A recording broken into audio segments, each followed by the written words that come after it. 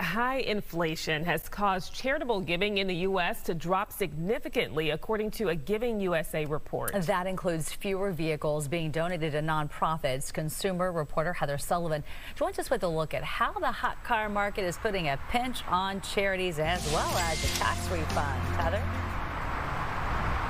Yeah, so with high car prices, uh, uh, Cars for Kids says that they are definitely seeing a drop in cars being donated, uh, but also buyers now are actually keeping their old clunkers longer despite the wear and tear, or they're buying older used vehicles. So the question is, will that bode well for more donations in the future to help the charities in need?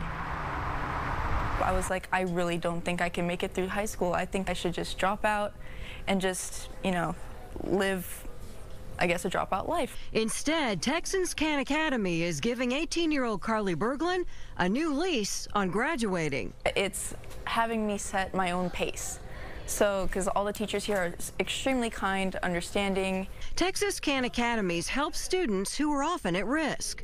Some that have gone through some emotional um, stress, either they've been kicked out of the house, they are now parents themselves. They provide education and things they need, like rent, food, school supplies, funded largely through vehicle donations. Write off the car, not the kid. Cars for Kids says annual vehicle donations declined from about 10,000 nationwide pre-COVID to about 7,000. We've seen our donations uh, drop obviously with with the ability for donors or potential donors to actually turn around and sell their vehicle for three four times what it might have been worth in the past. But it says the hot car market has driven up the average value per donated vehicle from 1400 to 1900 dollars. The increase in the price per vehicle has kind of offset the loss in donations for us as an organization. Benefits to donors include helping people in need and a tax write off. Most of the time, and they're going to sell the car.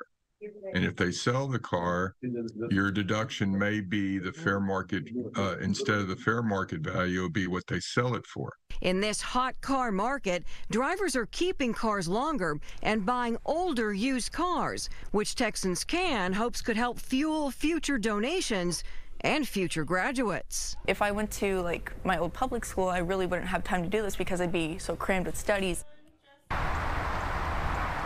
If you want to get a tax deduction for a car donation, you want to make sure the charity is a 501c3. They're going to send you a 1098C form with the sales price that they sold it for. If it's under $500, you can still claim the full $500. and if it's over $500, you're going to claim the actual sales price.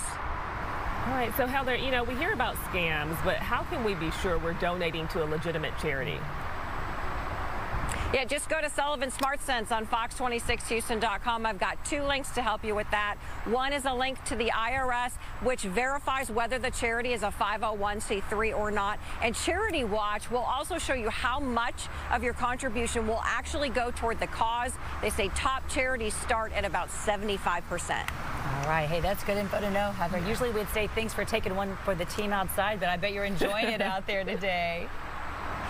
It's, it's beautiful out here today. We're loving it. Now you're going to not want to come in. All right. Well, thanks again for the info.